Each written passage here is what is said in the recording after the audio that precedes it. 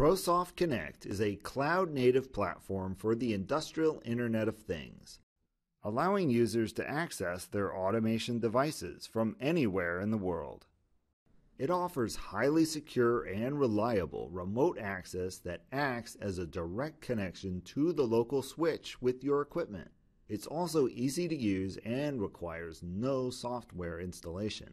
Let's say you need to remotely access a PLC get online and make some edits to your program, and you have our ICX35 cellular gateway connected to the Ethernet network that your PLC is on.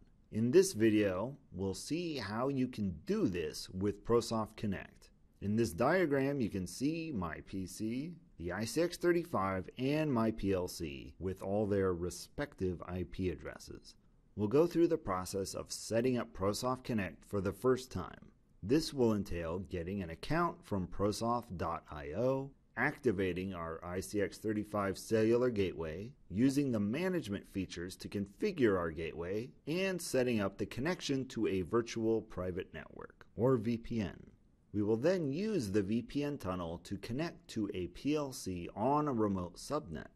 Note that we have a separate training video focused on setting up and configuring the ICX35 cellular gateway that we recommend you watch. Let's begin. To start, I'll open up a web browser and go to www.prosoft.io. This is where you can sign up to start using the ProSoft Connect service. Or if you already have an account, this is where you go to log in and use Connect to access your remote devices. I'll click Sign Up Now. This will walk me through the process of creating an account for Connect. I'll enter my name and email and other information and click Sign Up. I'll get an email at the address that I entered and I'll click the link and this will finalize the account creation process with me creating a password. And my account is all ready. And as you can see when logging in for the first time, there is a tour of the interface that you can take. A chat window telling you about the chat support feature also pops up, and we'll talk more about that later.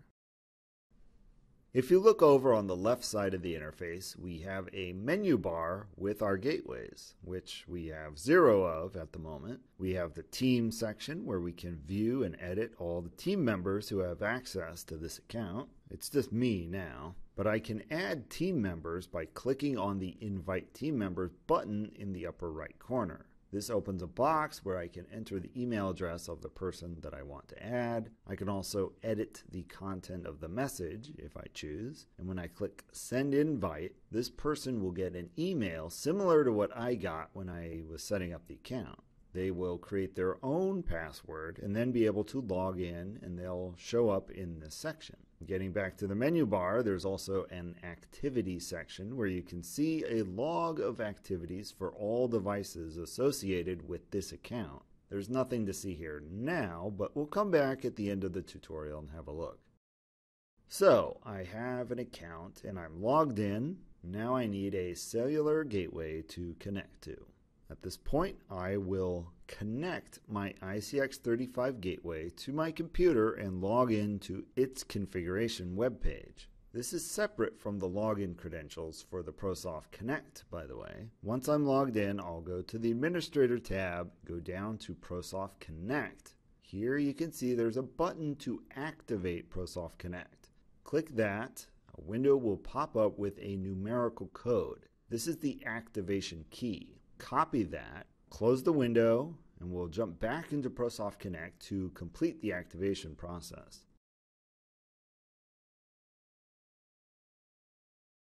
To do this, I'll click the Activate Gateway button in the upper right corner here. A window will pop up asking you to enter the device activation key. This is the numerical key that we just got from activating an ICX35 from its web page. Paste the code in and click Activate. The ICX35 will now show up in our Gateway's view. I can access the Gateway's configuration options by clicking its name in the tile view. So on the Overview tab, which comes up, I have stats on the performance of my gateway and some additional information over on the right side here. I click on the Gateway tab, you can see all of the configuration parameters available to us. I can give it a new name here. I can enter the APN, some location coordinates. I can see its LAN IP address, and this is the address assigned to the ICX35's LAN port. I'll enable the data limit tracking feature, and I'll take a look at the Access tab, where we can configure the properties of the web interface. The VPN type, you actually only need to use this if you're going to use an external VPN server. We can change the username and password to log into the ICX35 web page, and we can set our tunneled client IP address. This is where we tell ProSoft Connect what IP address to give our PC on the remote network once we have created the tunnel. So this is the IP that our PC uses on the subnet with the PLC. Be sure to use an IP that you know is available on that subnet. And there's also an activity tab that logs all the activity for this gateway specifically. Now, if you do make any changes to the configuration options for the gateway, you'll notice that the Apply button in the upper right corner will activate and a number will appear next to it. And this is the number of unapplied edits made to the gateway configuration. And if you click on the number, you can see what edits to the configuration are queued up. You have to click the Apply button before those edits will go into effect. The gateway will then go through a reboot and all of your edits will be applied. Now we'll take a look at the other views of our gateway list. So we have the tile view here. I can also go to the map view to see the location of each device in the world. And the table view is simply a list. So if you have a lot of gateways, this might be the easiest way to sort through them. Any devices that you have activated on this account will be visible in these views. Once you've activated a gateway, connected to it, you probably want to connect some other devices on the remote network. In my case, I have a PLC on a remote site on a subnet that my computer, with its internet connection alone, cannot access. Now, in this scenario, once I've activated the ICX35 gateway on my account, it would then be taken to the location where the PLC is situated and physically plugged into the network there. So, with that done, I would click the connect button on the gateway. This will generate a VPN session. If I have not already set a tunneled IP address for my PC, it will prompt me to set one now.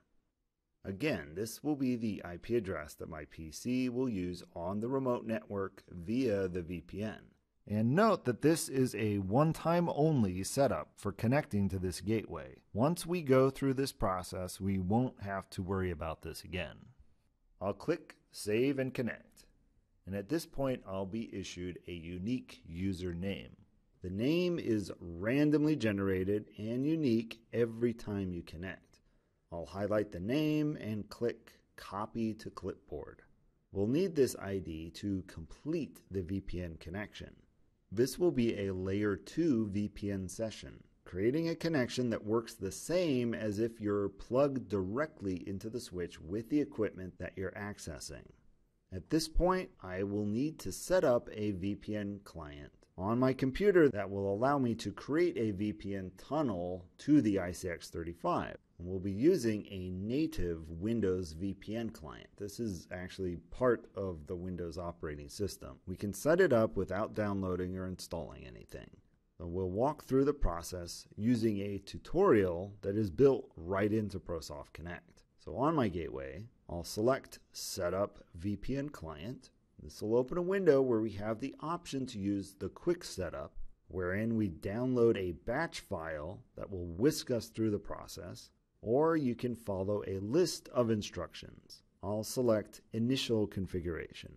A series of screens will walk me step by step through the process of setting up a VPN client for the Connect, including the specific IP address to use and the type of VPN client to choose. Again, this process is only necessary the first time we make the connection. Once you have a VPN client set up, go to your computer's network connections, find your VPN client, click on it, and connect. Next, I'll paste the unique ID into the username field and hit connect. You don't need to worry about the other fields. I should now be connected to the remote network over VPN. I can verify this by the banner that appears at the top of the Connect page. Looking at my gateway on the gateway's page, I can also see the little VPN icon is now active. And if I hover over this with my mouse cursor, I can see that the gateway is connected and my PC is also connected. So what's happened here is that ProSoft Connect has connected to the VPN server and assigned my PC the IP address that I specified earlier on that remote subnet. So now, if I enter the IP address of the bridge module in my PLC, its web page comes right up as if I'm plugged into its local switch, and I can actually program it remotely. If I open the RSLinx, I can set up a connection just as I would with a controller on my local network. I don't have any drivers set up to connect to the subnet where the PLC is. So I'll go up to communications and select configure drivers. I'll grab an Ethernet IP driver and I'll give it a name. It then asks me what connection I want to use. And in the window, you should be able to see ProSoft Connect as an option. The IP address associated with it is an address on the subnet that my PLC is on. That is what I want to use. I'll click OK and close the window. So I now have a new Ethernet driver that will go out over ProSoft Connect to the ICX35 gateway and then to the local area network that my PLC is using. If I expand that, I can see my PLC right there. So if I wanted to make a change to the program, I could fire up RS Logix 5000 or Studio 5000 and go to Who Active connect and make any edits that I need. In addition, any other Rockwell Automation Ethernet IP devices on this subnet will also show up in my view here, and I would have access to them as well. Once you're finished, you can go back to the ProSoft Connect page, go to My Gateways, and click Disconnect. At this point, the unique user ID that I've been using to access the VPN tunnel and connect to the PLC is no longer valid. If I wanted to reconnect, I'll have to create a new session with a new unique user ID. I'll open up the activity section and look at the log events. So now we can see here when the gateway was added, when the VPN connection was made, and when the connection was closed. Any other changes made to the gateway, such as changing the name, the login credentials, any of the IP addresses or other settings would also be logged here. And you can also see what user applied the changes. A few other helpful features that I can point you toward. This is the help button here, and it will walk you through some of the most common activities that you might want to use Connect for such as activating a gateway, setting up a VPN client, or inviting team members. There's also a support button over here on the sidebar. If you click on that, a chat window will open up and you can communicate with our support staff. If you have questions, you can just type them in here and you'll get answers. This is persistent, by the way. So if you ask a question and then log off and close the browser, the next time you sign into your Connect account. Your question and any response that you've received from tech support will be there, and you can pick right up where you left off. And just so you know, our support staff only see the text. They can't see your screen, and they don't have access to your account. And that does it for this training session. If you have any questions or would like more information, feel free to contact us. Happy training.